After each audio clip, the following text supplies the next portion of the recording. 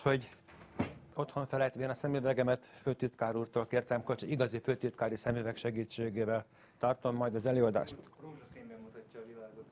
Ez még nem fordult elő velem, ilyen körülményeket még nem produkáltam magamnak. Szóval Kepler és Galilei. Hát két olyan tudós, akiknek a nevét felteltőleg mindenki ismeri, kortársak voltak, életútjuk is meglehetősen hasonlított, amennyiben mindketten matematikus professzorként kezdték, és ma pedig, mint a modern csillagászat megalapozóit tartjuk őket számon. Ennek a hasonlóságnak az ellenére azonban náluk különböző jellemű, felfogású, tudományos módszerű kutatót keresve is nehezen találhatnánk a tudomány történetében. Kapcsolatukról kellene beszélnem, de hát ez nem sok témát ad, mert sajnálatos módon az ő kapcsolatuk meglehetősen laza volt. Talán inkább az az érdekes, hogy vajon miért. Ezt persze nem tudhatjuk, mert erről egyikük se számolt be. Pontosabban, ha valaki, akkor Galileinek kellett volna beszámolni róla, mert Kepler megtette, amit tőle telt, csak Galilei volt az, aki nem nagyon vette alapot. Na nézzük hát az életútjukat. Tulajdonképpen nem lesz könnyű erről így beszélnem, mert párhuzamosan nem tudok két emberről beszélni. Ha pedig Keplerrel kezdem, mint ahogy szeretném vele kezdeni, akkor hát időközben meg majd úgy meg kell szakítanom, és majd Galilei vissza kell térnem arra, hogy most hát hol, hogyan kapcsolódtak egymáshoz. Keplerről tehát néhány szót. Ő egy kis német faluban Weilben született, Sokat lehetne mesélni a családjáról. Most talán csak annyit, hogy a nagyapja még Vel polgármestere volt, de aztán hamar lecsúszott a család oly mértékben, hogy Kepler mamáját, pontosan a Kepler nagynényét, mint boszorkányt megégették, mamáját csak majdnem, de Kepler sikerült, hogy sikerült megmentenie. Igenis. És akkor Kepler is látszik. Tehát Apja pedig máshoz nem értett, mint a tüzérséghez, ennél fogva zsoldos katonaként működött, amikor éppen nem volt otthon. Sajátos protestáns, luteránus család volt a Kepler család. A papa időnként a vallásháborúban, a, mivel éppen gondolom ott volt kereslet a tüzérekre, hát a protestánsok ellen szállt hadba. Hollandiában valami, ma már nem tudni, hogy mi okból, éppen csak elkerülte az akasztófát vagy a gályarabságot. Aztán idővel eltűnt, utolsó hír az volt hogy Itáliában állt be valami hadseregbe. Ha éppen otthon volt, akkor már Velbe és el sem mertek menni, a szomszéd Leonbergben nyitott a kocsmát, és hát hasonló. Hát ez volt az élet ott a családban. Nem sokat törődtek volna Kepler tanítatásával, de ugye automatikusan mégis bekerült az oktatásba, és haladt előre Kepler, mert igen tehetségesnek bizonyult. Noha nagyon beteges testalkatú és rettentő hipohonder is volt, később, amikor felnőtt, akkor is végig. Egész jellemző, hogy gyakran különböző írásokban jellemzi önmagát, és olyankor általában kutyához hasonlítja magát, ő saját szavai szerint ő mindenben a kutyára hasonlított, nem csak a alakja, mozgása, jelleme, de még az étvágya is. Ha szeretett csontot rágni, meg kenyérhéjat, meg ilyesmit. Szóval a kutyához hasonlítja magát, de tényleg beteges is volt, a legkülönbözőbb betegségei voltak a rövidlátástól, többszörös látáson keresztül, mindenféle férgességek, minden, nem is tudom felsorolni mindent, de talán nem is érdemes. A lényeg az, hogy tehetsége és ez a gyengeség, ez valahogy predestinálta arra, hogy stílszerűen szóljak, lévén ugye protestáns családról szó, szóval predestinálta arra, hogy valamiféle tudományos egyházi pályára próbáljon lépni. És valóban Tübingenben végzi az egyetemet, és akkor ott benn teológusnak, és éppen csak el nem végezte a teológiát, és már majdnem le is tette a záró vizsgáit, de akkor közbelépett a sors, mert hogy a szomszédban, egy, egy más volt, egy Grácsban, ahol volt protestáns meg katolikus egyetem is, a protestáns matematika professzor elhunyt, és utódot kerestek, és ilyenkor Tübingenből volt szokás tanácsot, ajánlást kérni. Kepler főnökei feltettőleg tudták, hogy ez az ember sok mindenre jó, de papnak biztos nem. Ellenben matematikusnak talán beválik, hát őt ajánlották talán, hogy megszabaduljanak tőle. Tiszteltem, jobb később, mint soha. De jobb előbb, mint később. Így hát Kepler Grazban matematika professzor lett, ám bár eléggé nehezen foglalta el az állást, mert szavai szerint ehhez a tudományhoz nem sokat ért. Lehet, hogy akkor még valóban nem túl sokat értett hozzá. Ennek ellenére előadásai hát furcsa látványosságok vagy halványosságok lehettek, mert eléggé csapongó volt a fantázia, és ha rájött a beszélhetnék, akkor úgy kapott egyik témából a másikra, hogy meglehetősen nehéz volt követni. Ezt egyébként ő maga írja szintén saját magáról. Ennek következtében az első fél évben ugyan, az első tanévben még kevés hallgatója volt, de a második tanévben már egy se. De hogy ezt részben az egyetem vezetője ilyenek tulajdonítottam, mondva, hogy ez neki halálos ellensége. Ebből feltehetőleg nem sok igaz, mert ugyanez az ember ugyanakkor Keplerről jelentést nyilván azt írja, hogy nagyon tehetséges ember és kitűnő tanító, és igazán nem rajta múlik, hogy az előadásait nem látogatják, hát a matematika az bizony nem mindenkinek való. De hogy Kepler mégse unatkozzék, hát megbízták, hogy tartson előadásokat, akkor éppen mondjuk Vergiliusról azt is meg tudta tartani. Na aztán később már lettek hallgatói, és az egyik matematika előadáson egy egyszerű geometriai ábra felrajzolása közben szállta meg a nagy ötlet, amitől aztán egész életében nem tudott szabadulni. Egy olyan ábrát rajzolt a táblára, amely egy kör volt, beleírt szabályos háromszög, és azt belülről érintő második kör. És mikor ezt felrajzolta a táblára, eszébe ötlött valami. Tudni, hogy nagyon, sokat, nagyon sok mindenről többrenget felsorolhatatlan, mi mindenről.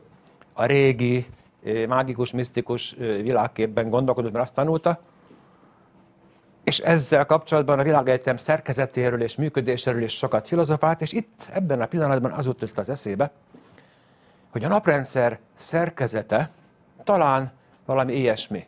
Úgy kell a bolygó pályákat elképzelni, hogy bizonyára a nap van középen, teljesen hogy nem, nem matematikai vagy csillagászati jogból gondolta így, hanem talán azért, mert olyan pitagoreus módon, hogy hát az a, az a szabályos, meg az a szép, hogyha a nap van középen, nem volt még jobb indoka No, meg Kopernikuszt azért ismerte már és tisztelte.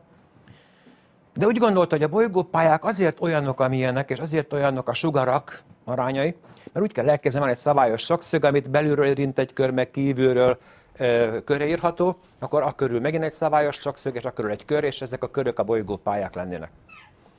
Az ötlet óriási volt, neki látott kidolgozni, noha nehezen ment neki, mert akkor még nem voltak rá megfelelő matematikai módszerek és gyakorlata birtokában, ez, ezért tény. De ennek ellenére rájött, hogy a dolog nem stimmel.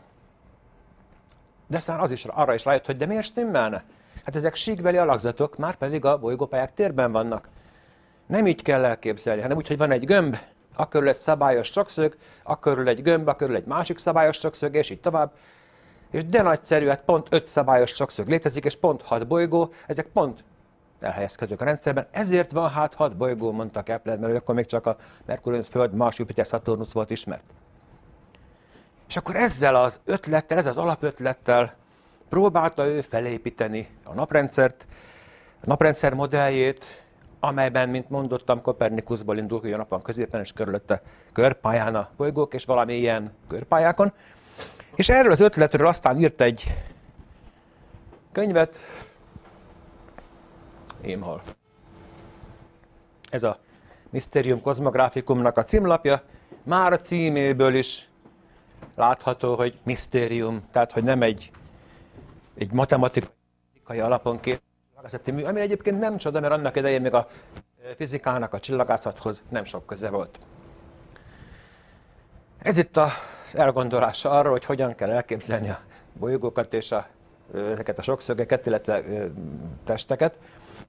Persze nem úgy gondolta, hogy ezek a ténylegesen ott vannak valami anyagból összeállítva, hanem csak egy matematikai modellnek gondolta, valahogy mint a régi görögök, Eudoxos talán, a, azokat a bolygószférákat, amikről annyit lehetett annak idején meg Kepler is hallani, és Kepler maga is dolgozott ezekkel a szférákkal, amikkel majd később beszélek. Ez a mű maga is annyiból is érdekes, hogy az első néhány fejezete az teljesen tiszta filozófia és ilyen, hát misztériumna. Belemagyaráz mindent, amit akar, hogy miért pont annyi bolygó van, mint említettem, hogy azok miért úgy helyezkednek el, ahogy, hogy miért pont a Föld a harmadik, ezt mind úgy levezeti valami teljesen jó indulatom a filozófiainak nevezhető eszmefuttatással. És aztán a következő rész meg egészen más hangnemű, egészen más stílusú, ott már nem ilyen gondolatmenetek vannak, ott már az észlelésekre, megfigyelésekre hivatkozik. Tudja például, hogy a bolygópályák nem lehetnek pontos körök, vagy ha igen, akkor nem pontosan a nap van középen, hanem a nap és a bolygópályák középpontja valahogy eltér egymástól, ellipszisről még nincsen szó, de hogy ezek a körök valahogy nem egészen közös középpontúak, vagy legalábbis nem a nap van a középen, de akkor hol közelebben a naphoz, hol távolabb, akkor hogy illeszék össze ezek a bolygót, ezek a testek, meg a pályák. Úgy képzeli, hogy ezeknek a gömböknek vastagsága van, úgy, hogy azon belül tud a bolygó közelebb, távolabb jutni a naptól. Ezek már azért racionálisabb ötletek. És végül is emeljük talán ki, hogy ebben a könyvben ő már matematikai összefüggést keres a bolygók pályasugara és keringési ideje között. Hát ami megjelent,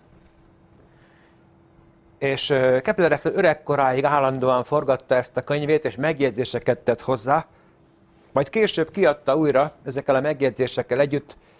A megjegyzések nagyobb helyedelmet foglaltak el, az egész mű, és a megjegyzésekben egytől egyig, hát olyan misztikus képzelgésnek és tévedésnek ö, állítja az egészet, amit előzőleg leírt.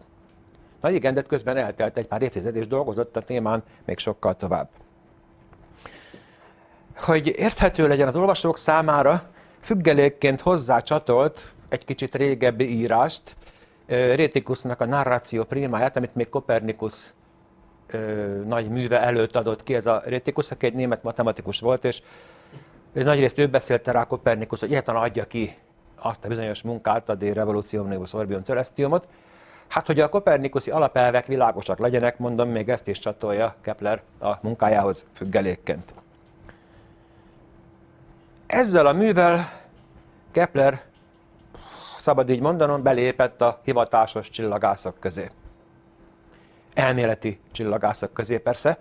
Ő maga nem annyira az észlelésekben volt ö, nagy, hanem inkább, hát most még csak a, az elméleti töprenkedésekben, de aztán később majd a matematikában is. És igen nagy matematikus lesz belőle. Művét elküldi Galileinek is, ha már ő kettőjük kapcsolatáról kell beszélnünk. 1597-ben kezdődik tehát ez a kapcsolat, azzal, hogy Kepler megkeresi Galileuszt, és elküldi neki ezt a művet. Galilei gyorsan válaszol, pedig azt írja, hogy még csak az előszót olvasta el a könyvből, és hát ennek alapján üdvözli Keplert, mint kollégát. Az előszó két szempontból érdekes. Egyrészt azért, mert azt írja benne Galilei, hogy ő már évek óta Kopernikus híve. Ahhoz képest, hogy Galilei még akkor is az egyetemen a, Kopernikus, a kopernikuszi helyett a régi földközéppontú Ptolemaioszi elméletet tanítja, és fennmaradt írásai szólnak arról, hogy ezt az elméletet minden eszközzel a régi arisztotelészi érvekkel alátámasztja, támogatja. Ahhoz képest elég furcsán hangzik ez a bejelentés, hogy bizony ő már évek óta kopernikánus. És hát arról beszél, hogy ő tiszteli, ismeri, szereti és keresi az igazságot, majd ennek érdekes módon ellentmondva azt magyarázza Keplernek, hogy miért hallgatja el az igazságot. Már azt, hogy a kopernikuszi világkép a helyes. Erről ő nem akar beszélni, mert hát a világ ilyen, a világ olyan, az emberek ostobák, etc. Tehát, hogy ő tudja az igazságot, de nem mondja. No, Kepler erre gyorsan válaszol neki, és biztatja, hogy hát ha így áll a helyzet, akkor mégiscsak jobb lenne, ha Galilei is kiállna a kopernikuszi világkép mellett, mert hát, ha ketten, vagy többen, a tudósok többre mennének. Sajnos ez a levél, ha nagyon akarjuk, félreértelmezhető, szemrehányásnak tekinthető, hogy is mondjam, hát hogy szemére veti Galileinek a gyávaságát. Tudja ördög, lehet, hogy ezen sértődött meg Galilei. Tény az, hogy egy darabig nem válaszolt, csak 12 évig. És akkor is csak azért, mert a saját érdeke volt, hogy válaszoljon, illetve kérjen Keplertől valamit. De erről majd később. De szerény véleményem szerint az is lehet, hogy azért nem válaszolt Galilei, mert elolvasta közben a könyvet. És azt tapasztalt, hogy ez bizony nem az én emberem. Ez a Kepler teljesen össze-vissza beszél. Egyébként úgy látszik, hogy Keplerrel végül is egyetértett ebben is, meg később Kepler is rájön, hogy nem igazán ö, stimmelnek, amit írt, hogy ezért ez egy, ez egy képzelgés, ez egy, ahogy Galilei szokta fogalmazni, asztrológiai képzelgés. Egyébként maga Kepler is így mondta ezt, hogy ez egy abszolút asztrológiai képzelgés volt. Na szóval akármiért is, de Galilei erre nem válaszol.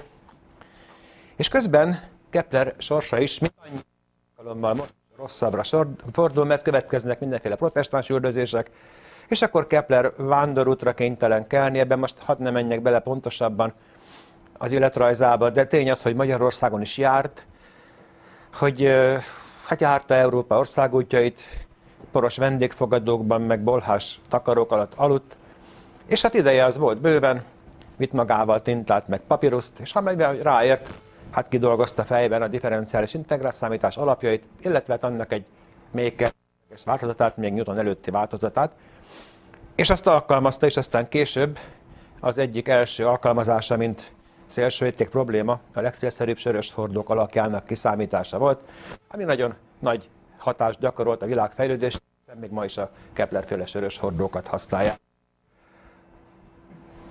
Használjuk, na mondjuk így.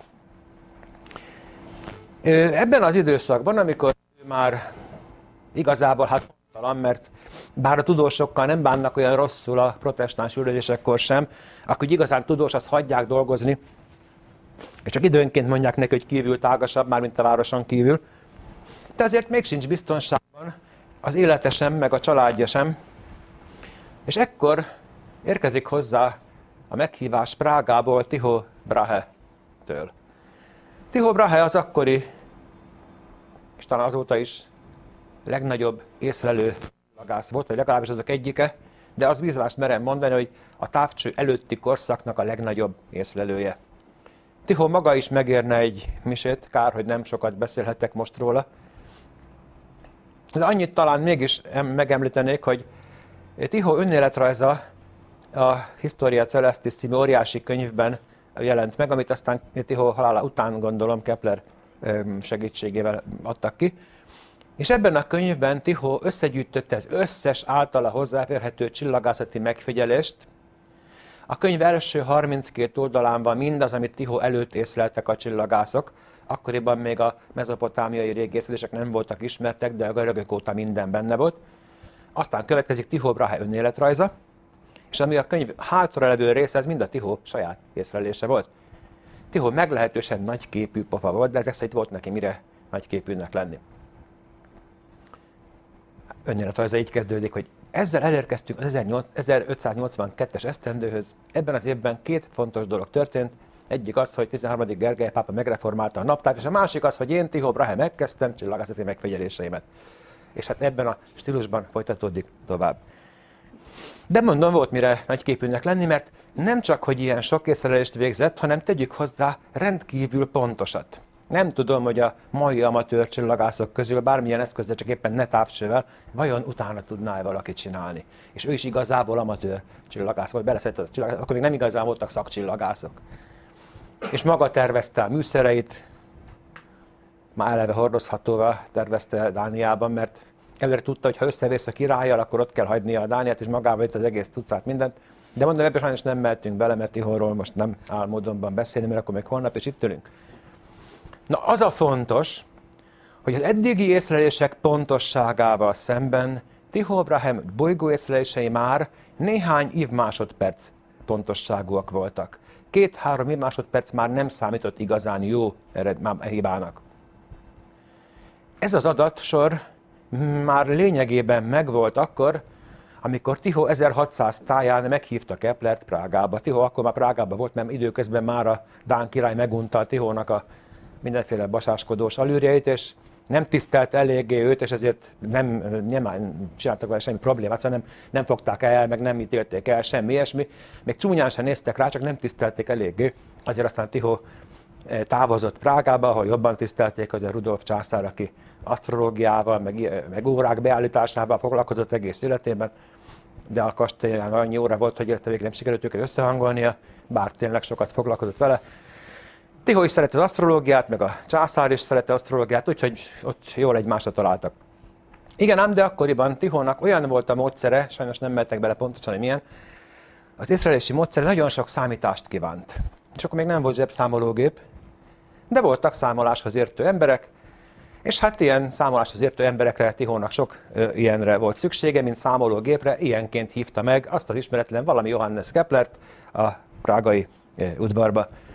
És hát éppen mondom, jókor jött a meghívás, Kepler ment is, rögtön összeugrottak persze, mert megint ugye Tihó egy ilyen, miért mondja, reneszánsz nagyúr, Kepler meg ugye a kutya, hát szóval, de ugyanakkor egy nagyon gőgös kutya időnként, meg öntelt is, hol alázatos levelekben bocsánatot kér, hol pedig ö, szemtelenül pimaszó követelőzik, és ez úgy felváltva periódikusan mondjuk néhány nap periódussal.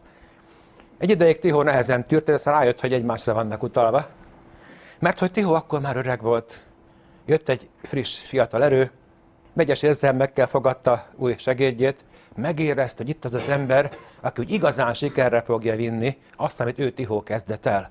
Ő már nem tudja befejezni. Tihónak persze az volt a célja, mint akkoriban a csillagászoknak általában, hogy egy jó naprendszer modellt állítson össze, és ehhez pontos megfigyelések kellettek. Ezt ő meg is csinálta, de már nem maradt ereje, meg talán képességes sem, tudja fene, hogy most akkor ebből kihozza a végeredményt, hogy hát akkor milyen is az a világ. De jött a Kepler, és ő majd megcsinálja. Hát most jó és ez nekem, hogy van itt valaki utódom, de rossz is, mert nem én fogom befejezni. Így hát a Tihónak is. Vagy ez volt a Keplernek, meg még inkább. De nem sokáig kellett egymással vacakolniuk, mert hogy 1601 februárjában kezdtek együtt dolgozni, és ha jól emlékszem, októberben Tycho Brahe elment egy lakomára, ott azonban igen illedelmesen viselkedett, amennyiben nem ment ki pisilni, és ebbe belepusztult. Még nem ott helyben, hanem kb. egy hét múlva. És akkor ott maradt Kepler, meg az ö, észlelések, de Tycho utódai nem akarták ezeket az észleléseket Keplernek odaadni, pénzt akartak csinálni belőle, meg a műszerekből is. Kepler aztán megvallja egy levelében, hogy hát nem volt mit tennie, kénytelen volt ezeket az észleléseket, ahogy úgy mondja, megszerezni. No, megszerezte észleléseket Kepler, és neki láthatott a feldolgozáshoz. Közben 1604-ben felfedezett egy, egy olyan jelenséget, amit már Tycho is észlelt, feltűnt egy új csillag. Tycho a Cassiopeia-ban látta ezt a szupernóvát, vagy nóvát, de inkább szupernóvát, és Kepler pedig az Ophiuchusban. Ahogyan Tycho is, mivel nem tudta, mi lehet az, tehát könyvet írt róla, ez a tudományban nem ritkaság, ha valaki semmi, semmit nem tud valamiről, akkor könyvet ír róla, ha még kevesebbet, akkor egy elég előadás sorozatot vállal, mint ahogy én most a csillagászat történetből. Hát ezt csináltak Kepler is. Tihónak jobban összejött, mert ettől lett Tihóból csillagász, és ettől hívta őt meg a király annak idején. Kepler csupán megírta a könyvét, amelyben a szupernováról kifejtő, hogy szerintem mi az ördög lehetett az. Ez akkor egy fontos kérdés volt, mert még élt az arisztotelészi világkép, hát szegény Galileinek és azzal gyűlik majd meg a baja amely szerint a hold feletti szférában semmi változásnak nem szabad történnie. Na már most itt feltűnt egy új csillag, hát kénytelenek voltak akkor lemagyarázni a filozófusok a hold alá, hogy nem ott nagy távolságban tűnt fel ez a valami, hanem itt közel, és akkor nincs baj. Hát most, hogy hol volt ez, mi lehetett az, erről filozofál Kepler érdekes művében, amely azonban sajnos magyarul még eddig nem olvasható. De Stella Nova Serpentis, az, ez a címe. No, 1609-ig foglalkozik a Tihóféle észlelések feldolgozásával. 1601, 1609. Amikor oda kerül Prágába, Tihó egyik segéde Longomontanus, hosszúhegyi úr, éppen a Mars pályájával foglalkozik, de sehogy se bír megbirkózni a feladattal. Kepler, a kutya, megérkezik, és azt mondja, adják nekem a marsot, én nyolc nap alatt megoldom a problémát. Rendben mondták, tessék. Megkapta, át, átrend szervezte Tiho a dolgot, Malonga mondtam, kapott valami mást, a hordat. Tessék parancsolni. Hát Kepler nekilátott, és a nyolc hónapból pont nyolc év lett, de megbirkózott a feladattal. Mint látják, 1609-re. Hogy hogyan birkózott meg, azt pontosan tudni lehet, mert Kepler pontosan leírja. Szemben a mai, de már az akkori tudósok szokásához val, mert hogy az a szokás, hogy leírjuk a végeredményt és a bizonyítást. De nem szoktuk leírni azt, hogy milyen tévedéseken, meg kerülőkön átjutottunk el az eredményre. Ez kicsit hosszadalmas is lenne, nem is hogy érdekli a népet, aki elolvassa, pláne a tudós kollégát, mert mit érdekli az ő, hogy miért, mit nem csináltam jól. Az érdekli, mi lett az eredmény, és mi a jó. De Kepler részletesen, gondosan, pontosan, hogy úgy mondjam, önmarcangolóan leírja mindazokat a hibákat, tévedéseket, tévutakat, amiket bejárt. Egy alkalommal eljutott a megoldásig, sikerült valahogy összerakni a, a, a pályát, a maspályát, de amikor megvizsgálta pontosabban, talált egy 8 évmásodperces eltérést.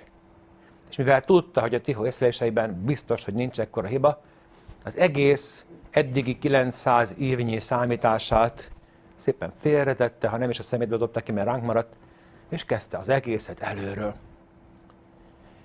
De valami furcsa, rendkívül furcsa gátlást tartotta vissza attól, hogy kimerje mondani, hogy ellipszis pályák.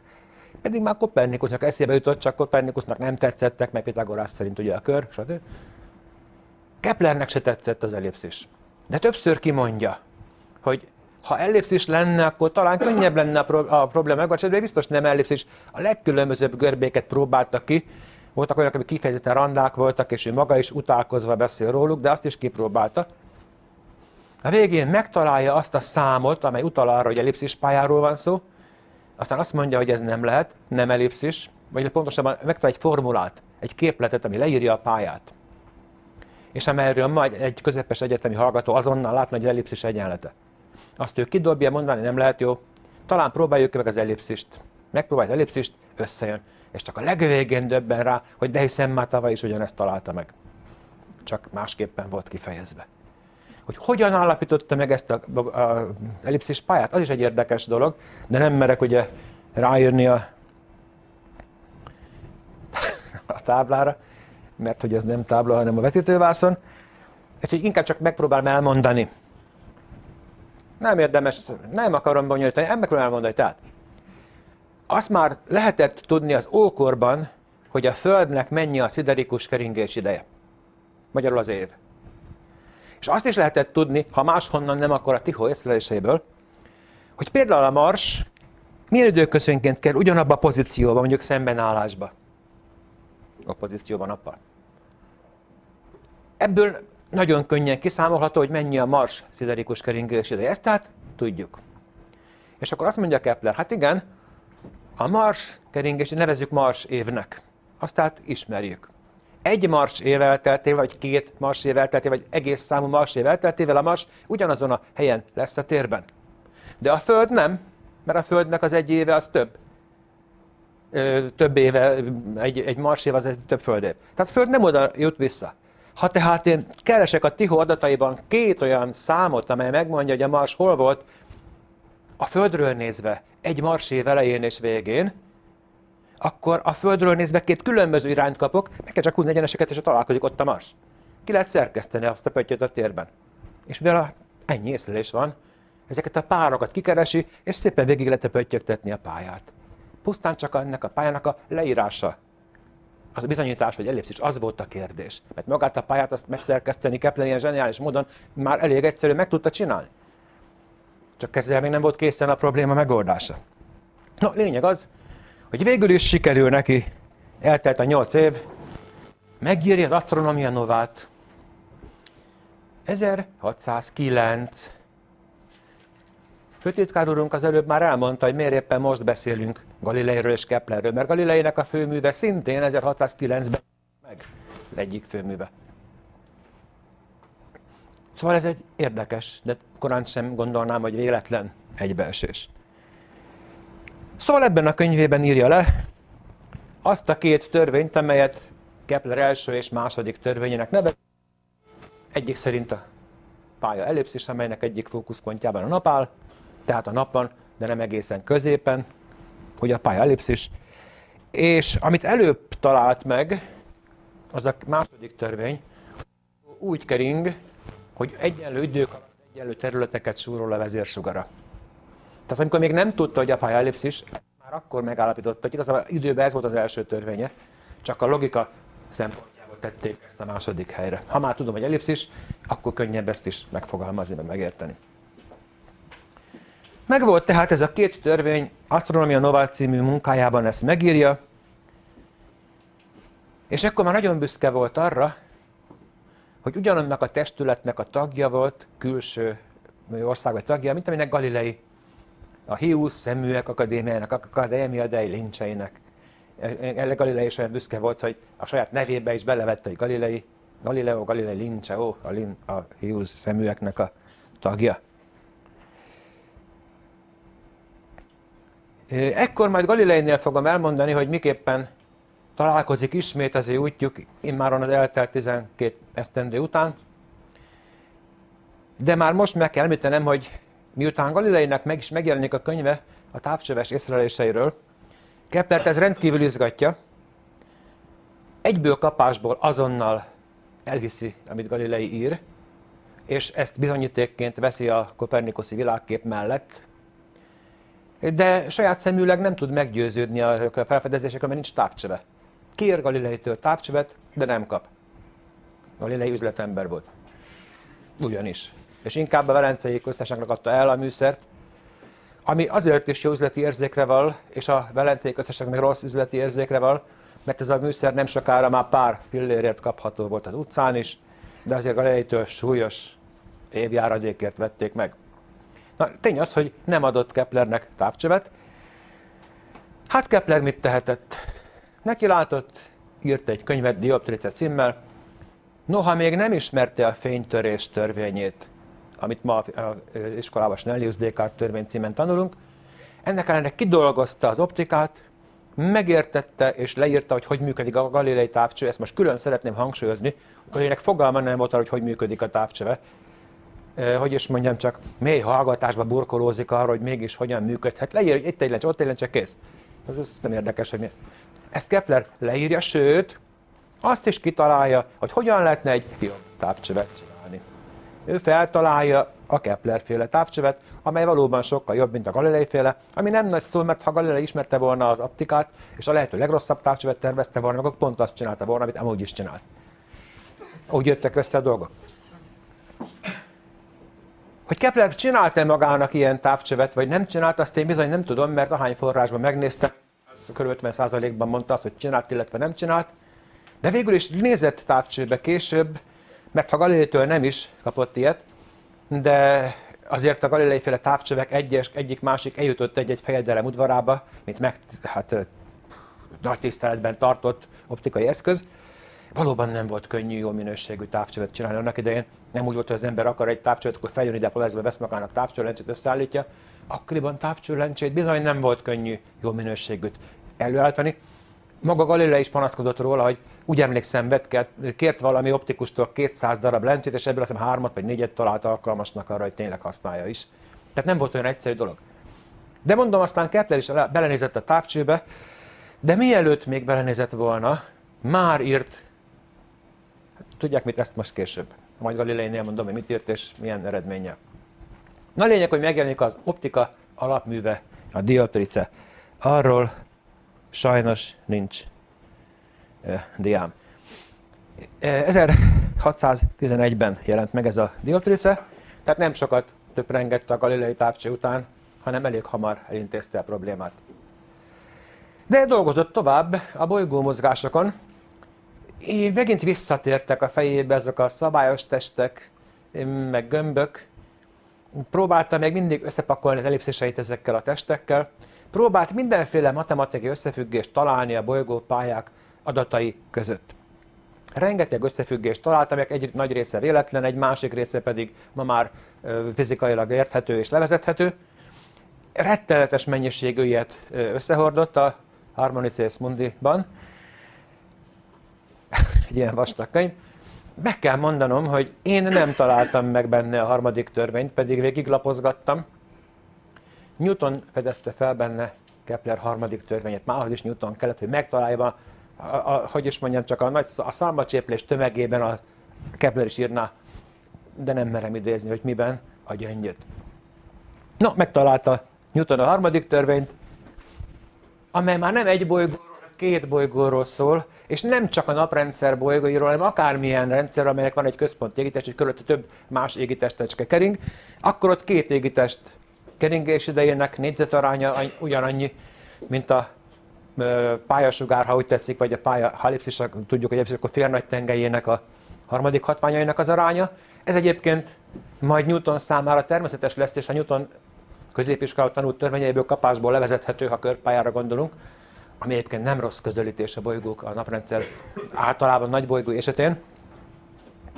De Keplernek ezt súlyos évtizedes számolgatással kellett kihoznia. Mert hogy akkor még nem volt feltalálva az elméleti fizika. Igen ám, de ezekből a törvényekből, hát ha szabad így mondanom, Kepler feltalálta az elméleti fizikát. Ő maga mondja, hogy itt már az előbb is, már a, a Astronomia Novában is, hogy és fizikusok most hegyezzétek a fületeket, mert most a csillagászatból áttérünk a ti birodalmatokba.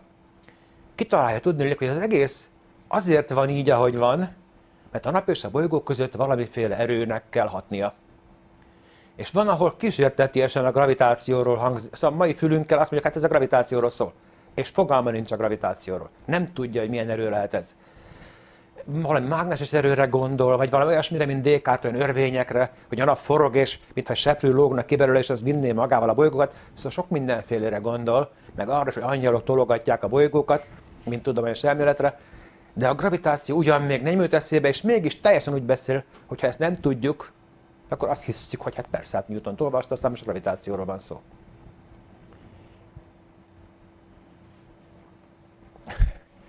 Említettem az előbb a szférákat, meg hogy, meg hogy Kepler még mindig a szférákban gondolkodik.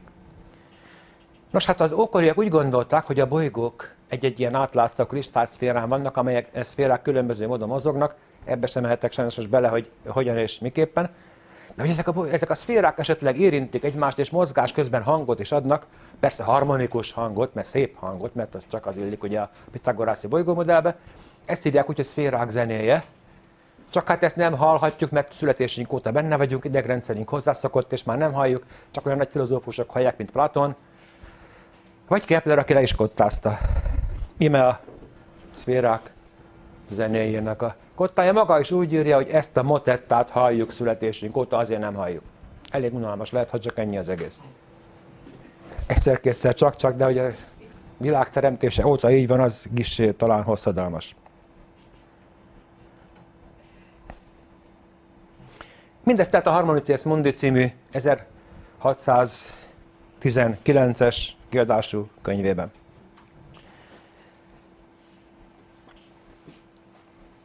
Annak ellenére, hogy nagyon sokat ír, és nagyon fontos műveket, például Rudolf táblázatokat, amelyeket aztán később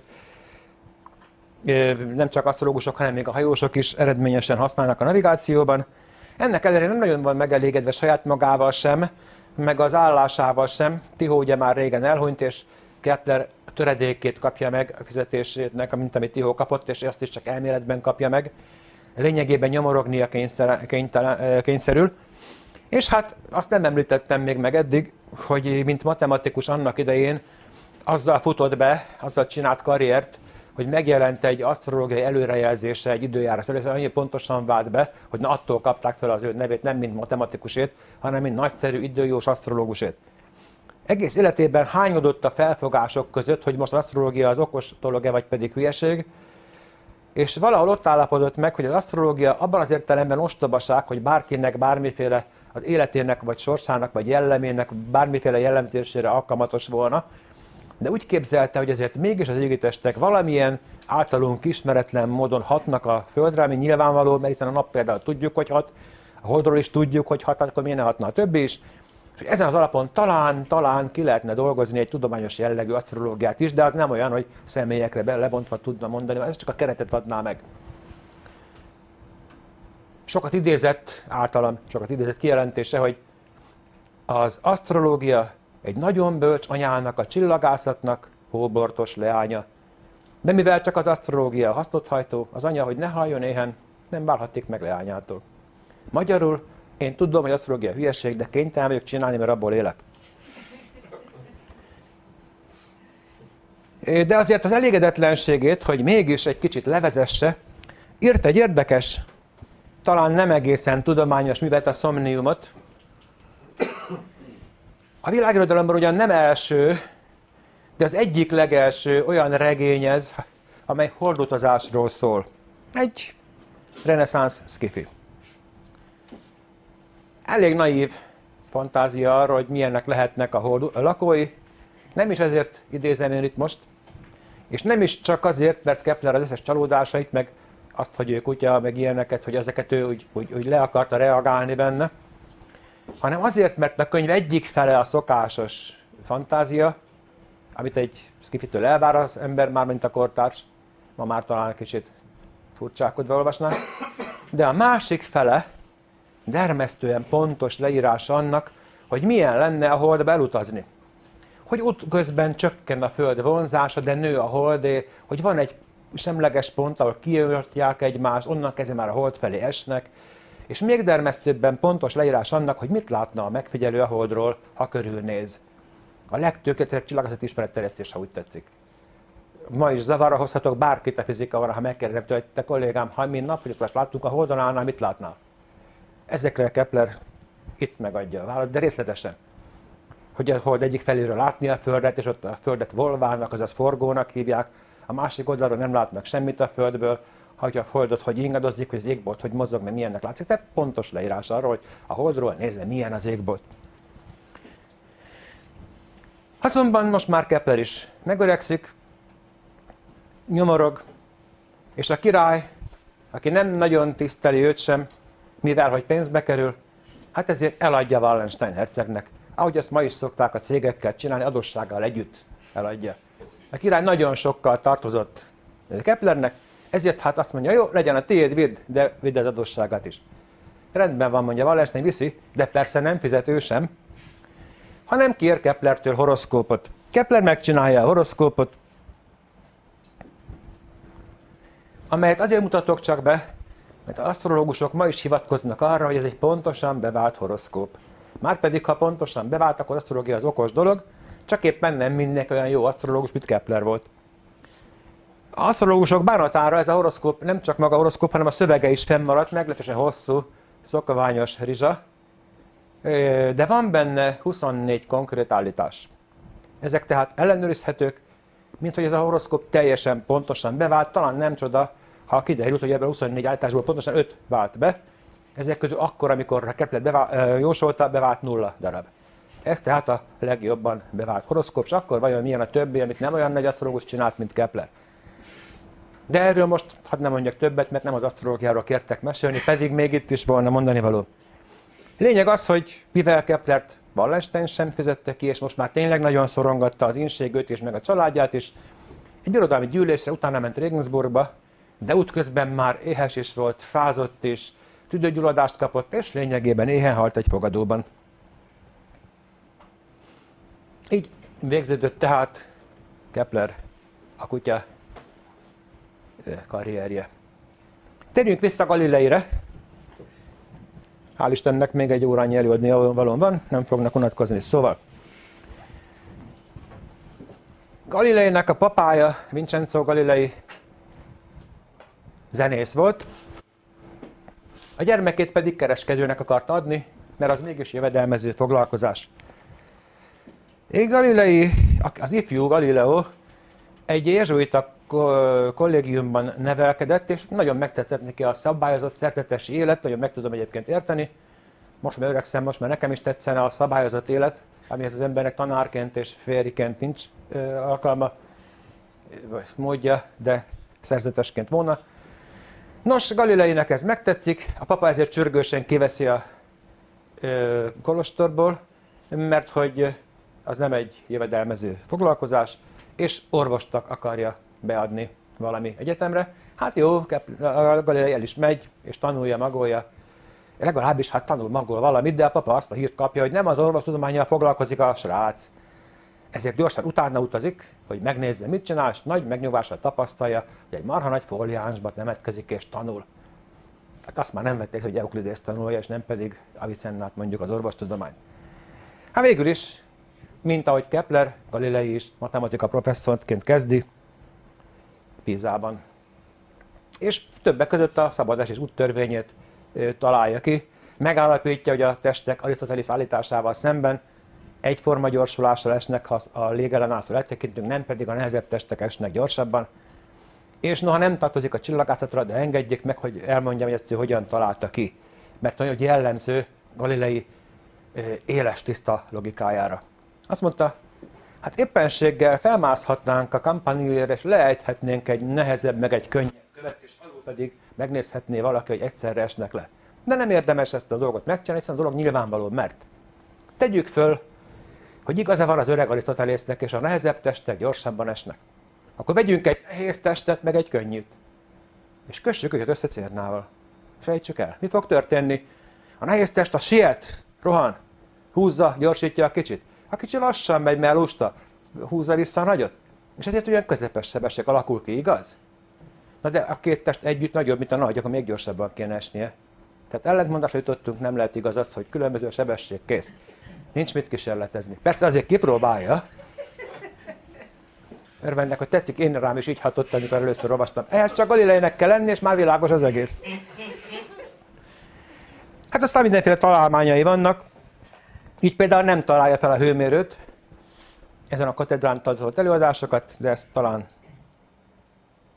Igen, szóval, szóval nem találja fel a hőmérőt, de feltalálja a termoszkópot, ami abba különbözik a hőmérőt, hogy mutatja, hogy mikor van melegebb, hidegebb, de nincs még skálája, tehát nem tudjuk, hogy mennyire van meleg, meg hideg. A skálát még nem találta fel hozzá.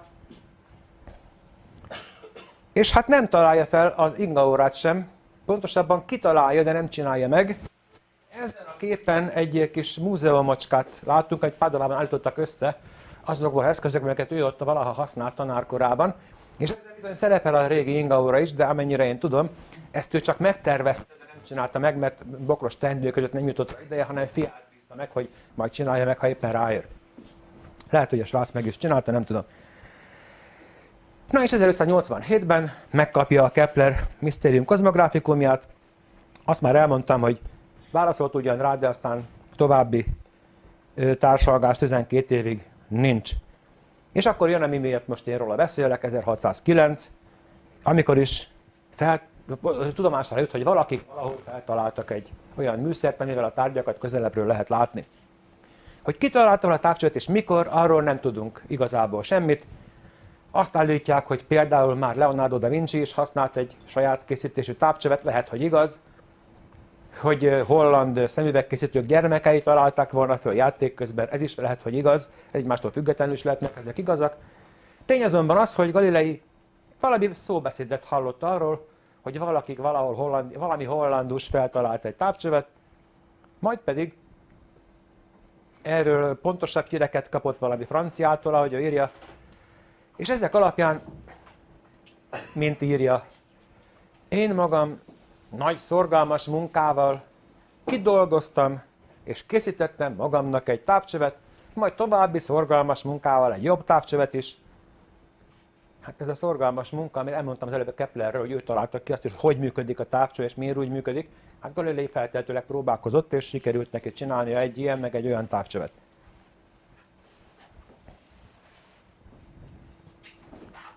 Hát mondjuk ez két műszere,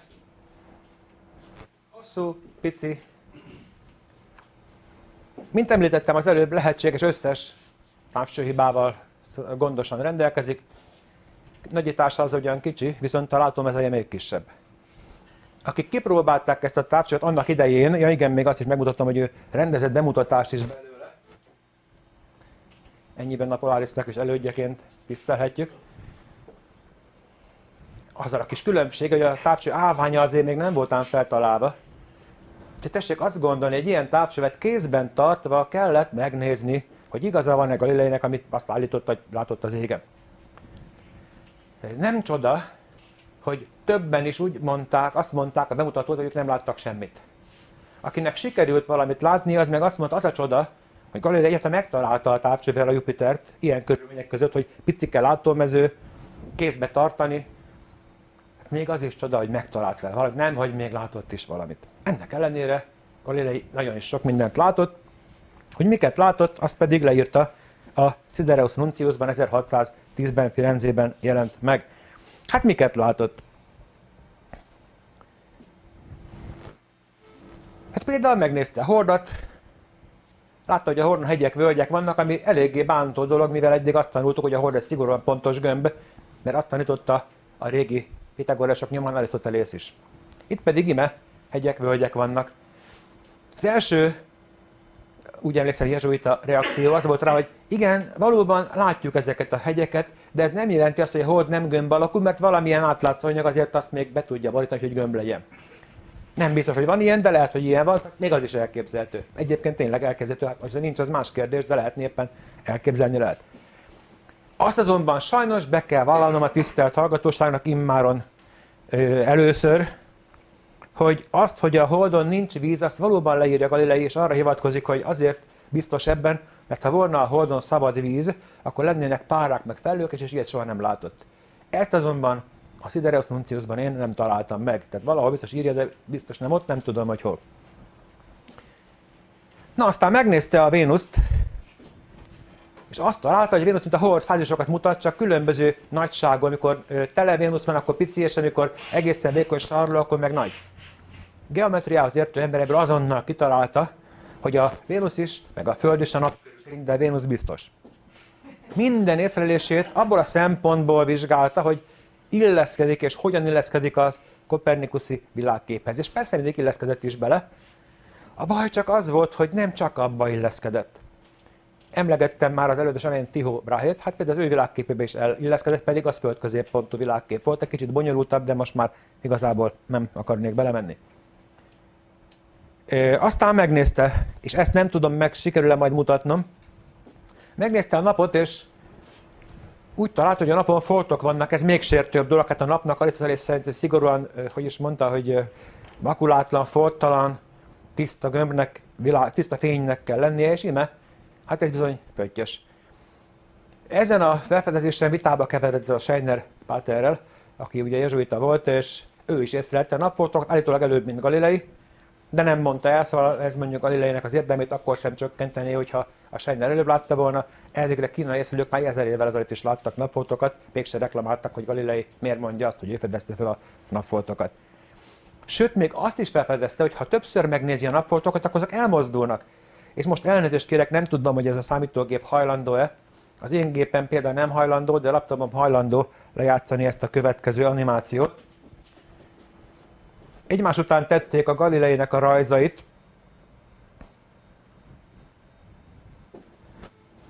Itt most, ha akarná lejátszaná. Ja, nem tudja lejátszani, persze, mert már voltam. Ezt a, ott van a laptop, a pendrive de nem tettük ki a gépre. Na, szóval mindegy, elmondom akkor. Több rajzot csinált a napfoltokról, és ezeket egymást, mint egy rajzfilmet tesszük, akkor, akkor egyszerűen látni lehet, hogy a nap forog. Tehát felfedezte azt is, hogy a nap forog, és hogy milyen periódussal forog. És hát a legfontosabb felfedezés, legalábbis ő is annak tartotta, de szerintünk is talán az, hogy felfedezett a Jupiter körül négy hordat. Mint üzletember megpróbált eladni őket a Medici családnak, csak sokat kért érte. Elnevezte Medici csillagoknak, és ez is egy ütőkártya volt a kezében a Kopernikuszi világkép mellett, mert azt mondja, hát nem csak a Föld körül keringhet valami, mert hát jó, lehet, hogy a nap meg a bolygók, de hogy ezek az izék, ezek biztos nem, akármik legyenek is, ezek a Jupiter körül keringenek, ezt saját szememmel látom, és aki megnézi, maga is láthatja.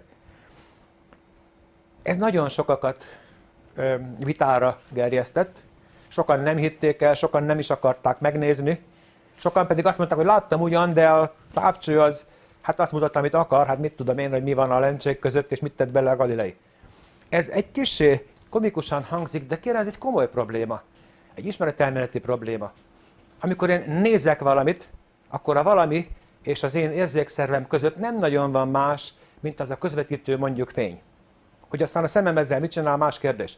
De ha még közé teszek egy műszert, akkor vajon azt látom-e, amit nézek? Szóval a, a jelenséget látom-e, hogy a jelenség és a műszer kölcsönhatását látom-e, vagy mit? Nem annyira egyszerű, és nem annyira magától értetődő kérdés.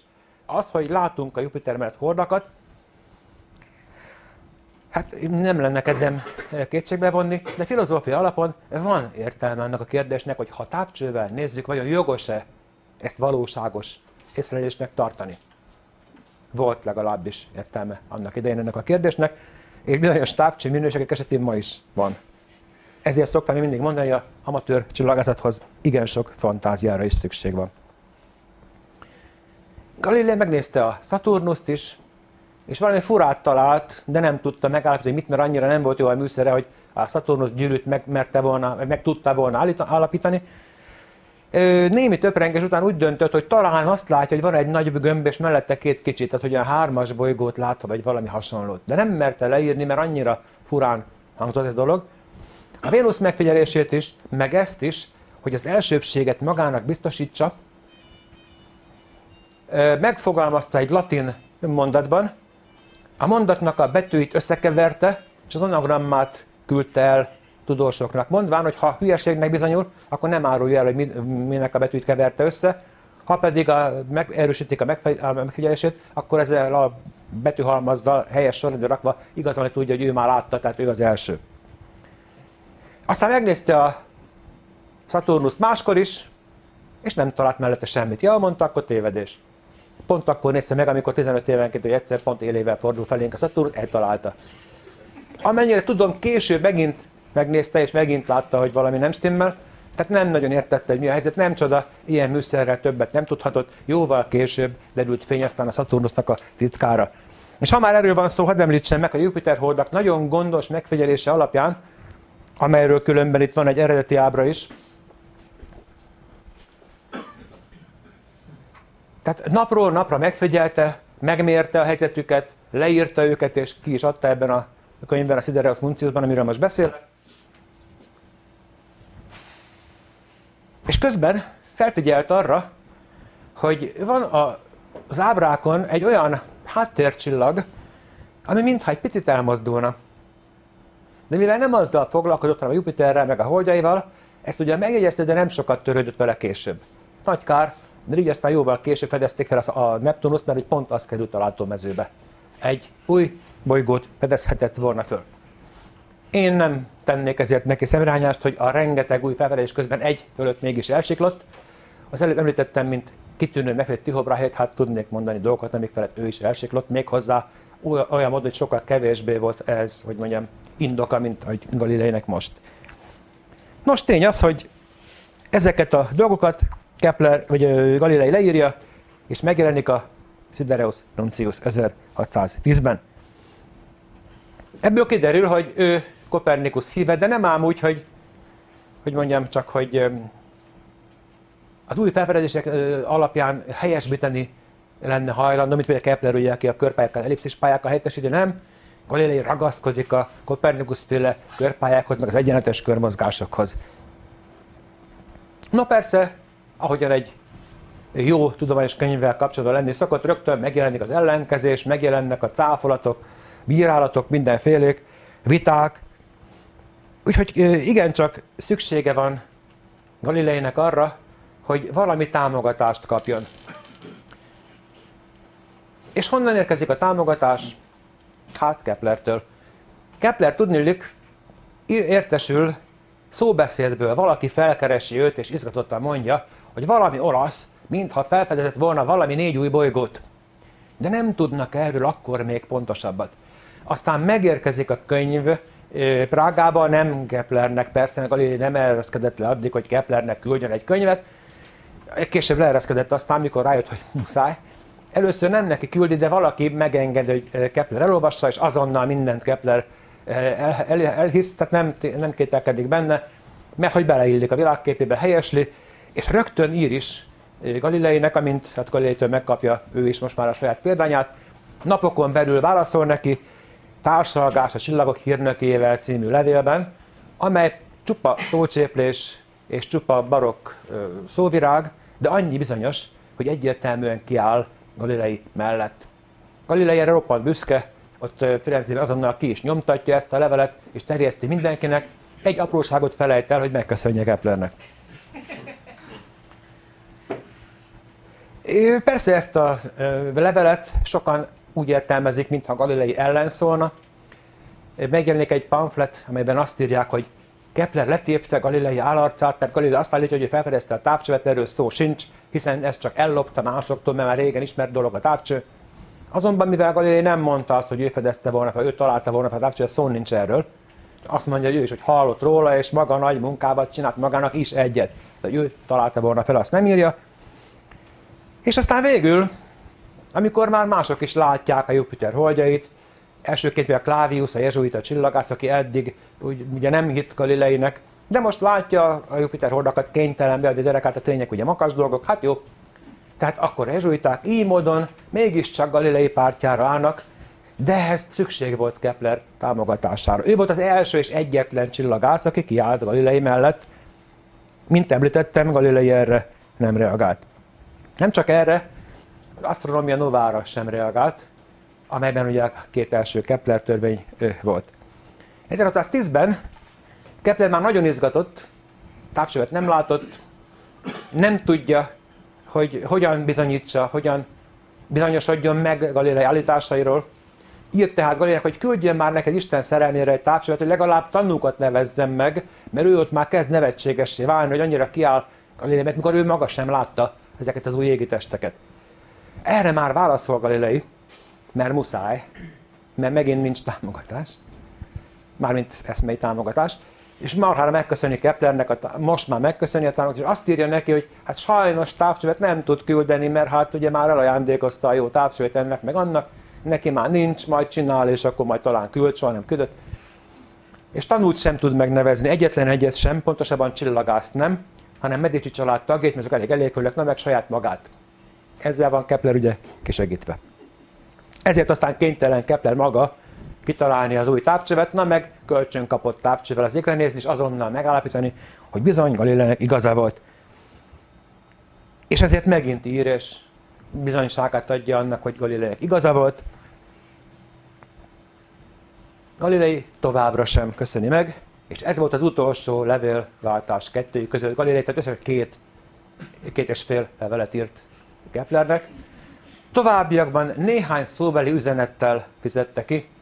Például eznek a két anagrammának, amit előbb említettem, a, a Saturnusszal meg a Venusszal kapcsolatban a megfejtését Keplernek ugyan nem árulja el, Kepler heteket tölt hogy összepakolja valamilyen latin szöveggé azokat az anagrammákat, és ki is hoz belőlük valami, ahogy mondja, barbár latin versezeteket, amiknek azonban a valósághoz nem sok köze van. Egyikből például azt olvasta ki, hogy Galilei talán a Mars mellett is talált két hordat, amikor éppen nem erről van szó, hanem arról, hogy a Saturnus esetleg hármas bolygó lehet. Tehát ezeket se Keplernek oldja fel, hanem mikor már olyan szorongatják, akkor a toszkánai követnek írja meg Prágába a megfejtést, és csak tőle tudja meg Kepler, hogy igazából mit is akarta Galilei ezzel leírni. Tény azt kérem, hogy Galilei élete végéig nem kedvelte Keplert. Nem tett említést Kepler három törvényéről, de még arról a kettőről semmit viszonylag könnyen kiolvashattunk a Astronomy Novából. Nem tett említést ellipszis pályákról, nem tett említést a nap és a bolygók közt esetleg ható vonzóerőről, amivel Kepler a csillagászatot a fizika részévé tette. És nem említi meg a Kepler-féle távcsövet sem. Tudjuk, hogy aztán Galilei később kicsit rosszul jár. 1616-ban tudjuk, megtiltják neki, hogy Kopernikus tanait hirdesse. Pontosabban hát írhat éppen róla, de csak mint feltevésről, hogy hát, ha úgy van, meg matematikai modell. Aztán, amikor Galilei barátjából lesz pápa, akkor Galilei felbátorodik, és megírja a dialógót, a párbeszédeket, ami azért szép, hogy dialógóra akivel három ember beszélget benne. Igen. Egyiket úgy hívják, hogy Simplicio. Ő az arisztotelészi felfogásnak a híve, és ha le akarom a nevét fordítani, beszélő neve Simplicio, hát jó indulata azt mondani, hogy egyszerű, én úgy fordítanám, hogy bunkó. Aztán van Salviati, aki egy élő személy volt, pontosan akkor már nem élt, de Galileinek egy, egy jó barátja volt, sajnos addigra mondom már elhunyt, neki állít emléket Galilei, hát ő a modern, a galilei felfogásának a szószólója, és van egy Sagredo nevű úr még, aki nem tudós, hanem egy jó eszű ember, aki olyasféle szerepet tölt be, mint a mai tévévitákban a moderátor, hogy időnként kérdésekkel irányítja, hogy mi legyen. Ebben a könyvben Galilei már meg volt figyelmeztetve, hogy ne a kopernikuszanokat hirdesse. Hát ő hogy úgy jár, mint a régi orosz autógyár szerelője, aki hazaveszi alkatrészeket és összerakja, mindig a tank lesz belőle. Ő is összerakja az összeveszi érveket, és mindig a kopernikuszi világkép jön ki belőle. Ez sorry, nem tettek róla, mondja ő, megpróbálta mind a két oldalról, de hát ez tűnik valószínűbbnek. Na most ebből az lett a baj, 32-ben jelent meg egyébként, az lett a baj, hogy bepanaszolták a pápánál Galileit, hogy először is hát a kiadással magával is voltak stiklik, de ebben most nem menjünk bele. Tehát nem úgy nem olyan ellenőrzése jelent meg a könyv, hogy ezt a pápa engedélyezte, egészen másképp, meg kibújt a, a cenzorok ítélete alól, mindegy. De azért azt mondták a pápának, hogy ez a szimplicció, ez igazából a pápáról van mintázva. Na, ettől rágott be a pápa, és a baj az, hogy igaz volt. Tudni, tényleg a pápa, amikor még nem volt pápa, hanem bíboros volt, és mondott érveket Galilei, na ezeket az érveket ott mondja a szimplizá. Nem lehetett másképp érteni, mint hogy hát megmondta jól a véleményt a pápának, ezt nem kellett volna. Galilei állati nagy képű volt. Imádott vitázni, mindenkivel szembeszállni. És most sajnos, hát ráfázott, mert most kemény ellenfelet kapott a jezsuitákat, akiket szintén megsértett. Még annak idején, a Schweiner Páter idejéből, azóta fújtak már rá egy kicsit. Tudták, igaza van ugyan, de nem szerették, sehogy se szerették. Na most itt az alkalom, most le lehetett fülelni. Hát tényleg Rómába rendelték. Itt egyébként a dialógónak a címlapja.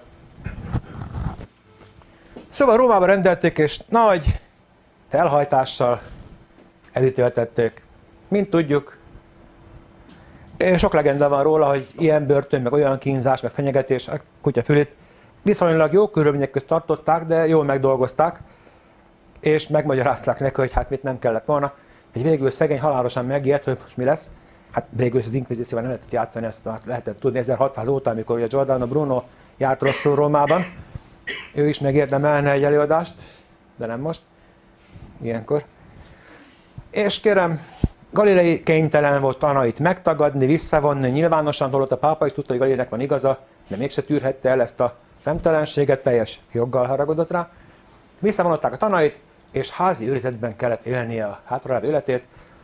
Az éjjelző meg egy napot nem töltött börtönben, kínzáskönyveket még csak meg sem mutatták neki, ami szokott a folyamatos, tehát a megdolgozás egyik módszerelni, már nagyon makacs az épség, akkor beviszik a kínzókat, nézzen csak körül, tessék, mert legközelebb ide, itt majd használjuk az eszközöket kegyeden, de hát most még csak nézze meg, és azt gondolja meg, hogy mit fog vallani a legkövetkező alkalommal, nehogy véletlenül mégis, de nem szeretnénk, de hát ha muszáj lesz.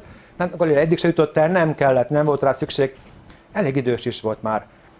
Sokan azt mondják róla, lehet ezzel vitázni, hogy vajon Galilei helyesen tette hogy kimondta, elmondta, felolvasta azt az izért, amit el kellett mondania, hogy nem hirdetti meg, nem igazán tehette volna azt, hogy már pedig ő makacs fiú és nem mondja, de akkor úgy jár, mint a Bruno.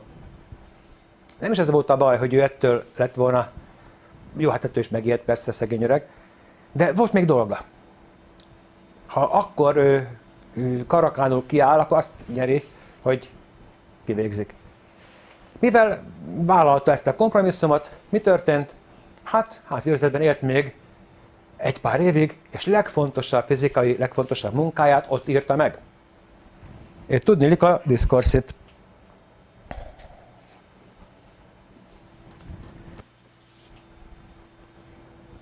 A diszkorszit azt a könyvet, amely már igazán a modern fizika megalapozásának tekinthető, és Newtonnak az erőtanának talán a, mondjuk elődje rendkívül érdekes kérdésekkel foglalkozik ebben a könyvben, és megnézni a kéziratlapját. Úgy tudom, saját kezű készítmény. És akkor már majdnem vak.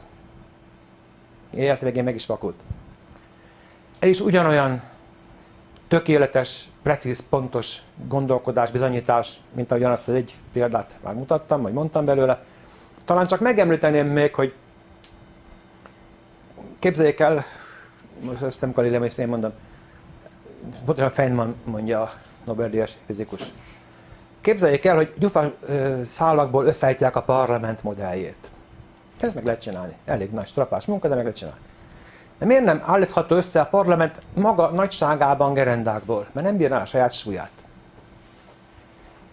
Azt mondja Galilei, hogy itt van egy kutya csontváza.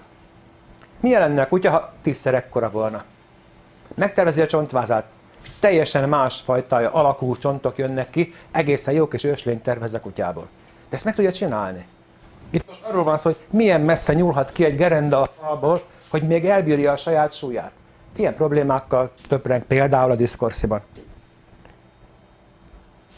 És ez ugye hat évvel a bebörtönzése után van, 1638-ban.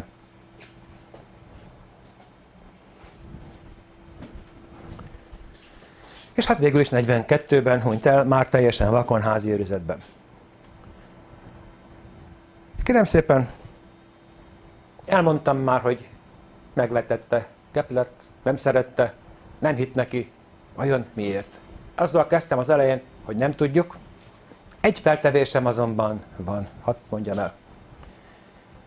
Galileinek a Sidereus Nuncius főművének, tekintsük most főművének, bár elég sok főműve volt, attól függ milyen szempontból főműve, csillagászati szempontból főműve. Az előszavában Galilei titoktatja a műveltségét, nagyon finoman, de ha az ember klasszikus műveltséggel olvassa, akkor felfedezi benne Szenekától Horáciusig mindenféle ilyen, ilyen utó, gondolatok utóéletét benne, és felfedezi azt is, hogy Galilei is foglalkozott asztrológiával. Ez nagy felfedezés, mert eddig erről soha egy szót nem hallottunk, és a műveiben nem is fordul elő. Még annyira sem, mint Keplernél, hogy vajon lehet-e igaz, és szerinte nem. Ennyire sem. Ugyanis az lenne csoda, ha nem foglalkozott volna asztrológiával, annak ez tudomány volt, és tanították, és ha egyszer valaki elvégez akkor kellett, hogy tanuljon róla ő is. Ebben a műben ez az egyetlen helyen felhasználja asztrológiát arra, hogy az ő pártfogójának remélt Medici herceget dicsérje. Hogy az ő horoszkópja alapján bemutassa, hogy mi nagyszerű ember ő. Hát persze, elvégre neki ajánlotta a, a Medici csillagokat. Hát muszáj volt őt feldicsérni. Erre használja az asztrológiát, erre és másra nem. Ez az, amikor megkapja Keplertől a misztérium kozmográfikumot, egyből látja ő szempontjában egy tök zavaros fejűipse. Hát tele van asztrológiával, csupa asztrológiai képzelgés. És sajnos azt gondolta, hogy a, mikor leírja Kepler, hogy a hold vonzása okozza a Földön az árapályt. Figyelem, a hold vonzása okozza az árapályt a Földön. Galilei ezt nem hiszi el, asztrológiai képzelgés, mert a holdnak ilyen hatása nem lehet a Földre, mert miért lenne? Mert nincs még felfedezve a gravitáció. És Galilei előáll egy olyan elmélettel, amely másképp magyarázza, persze rosszul az árapályt. Ezt tartja a fő bizonyítékának a kopernikuszi világkép mellett. Sajnos nincs bizonyítéka mellette. Ezért kénytelen mindig defenzívában lenni. És valljuk meg egészen őszintén, Galilei nem is volt mindig becsületes. Nem ír arról, hogy fogalma nincs, hogy működik a távcsöve. Nem ír arról, amit velmi nem szeretne. Ilyenekről például. Tehát, hogy ő, ő is tudta, hogy a bizonyítékával, hogy nincs bizonyítéka. De mindig úgy áll oda, hogy, hogy van neki valami ütőkártya, csak még nem játsza ki, mert az emberek nem érlettek rá, meg nem, most, nem elég okosak, mert ostobák. És végül nagy nehezen derült csak, hogy ez az árapály elméletet gondolja bizonyítéknak. Sok helyen van a műveiben ilyen csúsztatás, ahol valamit nem egészen ért világosan, és akkor olyan bonyolult levezetéseket, tiszta Kepler levezetéseket produkál, amit ő maga se hisz el, és megveti a hallgatóját, mert azt hiszi, hogy ezzel már meggyőzheti. A pápát is megveti, hiszen azt hiszi, hogy nem fogja észrevenni ezt a végül is nem igazán gusztusos eljárást. Tehát magyarul Keplert tisztára ostoba asztrológusnak tartja, és csak felhasználja, amikor muszáj segítségét, támogatását, de igazából nem tartotta őt semmire. Kérem, ezt csak azért mondtam most el, mert azt a kérdést szeretném a végén feltenni, és talán inkább magamnak, hogy mit tanulhatunk mi ebből ma. Igazán nagy tudósokkal sokszor fordult már elő, például Einsteinnel is, hogy az elmélete annyira idegen volt, annyira új volt, hogy kidobták és megindokolták, hogy például azért, mondjuk Einstein speciál azért nem volt az elete jó, mert zsidó volt. A Kepleré azért nem volt jó, mert asztrológus volt. Ezért vigyázzunk ezekkel, nem a zsidóságra, asztrológusra gondolok, vagy az ufósokra. sok ostobaság van, de nem biztos, hogy minden ostobaság. Keplernél például szintén valóban sok ostobaság volt, de íme nem minden volt ostobaság. És Galilei sajnos kiöntötte a fürdővízzel a gyermeket, ott is támadta Keplert, támadta, ott is elhanyagolta, ott is szó nélkül hagyta, ahol pedig Kepler is megérdemelte volna a támogatást. Vigyázzunk tehát arra, hogy ha valami újat hallunk, olvasunk, látunk, ami furcsának hangzik nekünk, és nem szívesen hisszük el, annál inkább tanulmányozzuk, hát ha mi is így járunk, mint Galilei Keplerrel. Köszönöm szépen a figyelmüket!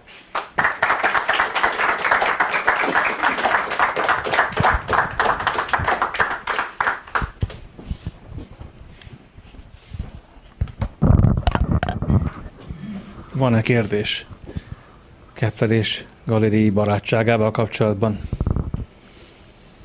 Idézőjelet mondtál, ugye? Igen. Majd valaki mutatja. És akkor ők sohasem találkoztak, ugye személyesen? Személyesen nem. Nem találkoztak. Kepler egy oldalon szer- szerelmes volt Galileibe. Igen, elég sok leletét nem Tudományosan. nem Azt talán mondjuk még el, hogy nagyon sok adatot, amit itt most elmondtam, a Arthur Köstler alvajárókjából szedtem. Azt ajánlom mindenkinek, aki a Kopernikusztól Newtonig tartó fizikus csillagász fejlődésről többet szeretne tudni, de részletesen eh, életrajzi adatok kutatásáig vissza, eh, visszamenőleg, tehát ő levéltári adatokat is fel, megnéz, olyanokat, amiket máshol én még legalábbis nem olvastam, csak eh, Köszlernél. Picit persze ő is egy oldalú, de hát ki nem. Hát így azzal kezdi Galileivel kapcsolatos írását, hogy ő nagyon nem szereti Galileit. Meg is értem egyébként, voltak dolgok, amik nem voltak szépek benne persze. Mi viszont nagyon szeretünk téged. Köszönjük, hogy eljöttél. Keplernek volt egyébként szemüvege? Itt, itt van a szemüvegem. Használt-e szemüveget, azt nem tudom, de hogy a szemüveg elméletet is jól dolgozta ki, azt tudom, a diatricében az is benne van. Akkor már használtak szemüveget, de hogy mi, hogy működik, miért működik, azt Keplerig nem tudta senki.